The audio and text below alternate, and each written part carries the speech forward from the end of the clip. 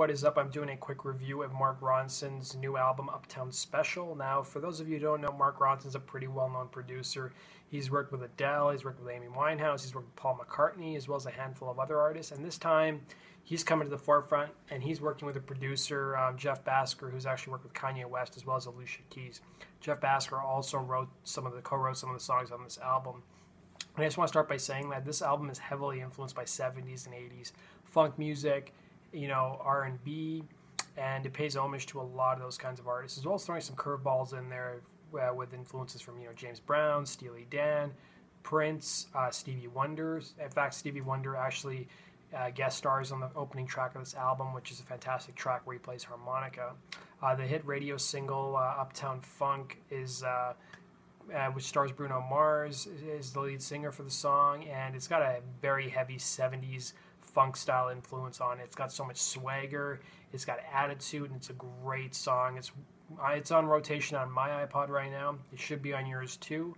Um, there's even some Steely Dan influences too on the song Summer Breaking, which is another great song off the album. Uh, there's also some James Brown inspirations as well.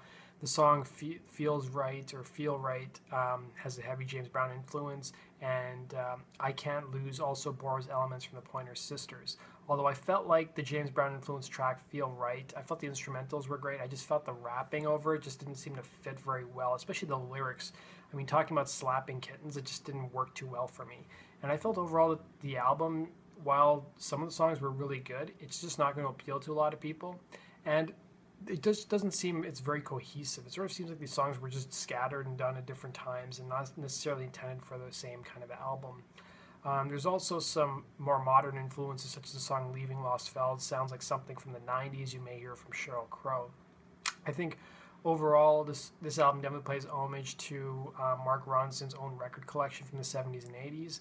And I think if you like Steely Dan, you know, James Brown, Prince, even Boz Scaggs, um, you're probably going to love this album as it's full of funky riffs, you know, loud horns, you know, a lot of heavy synths.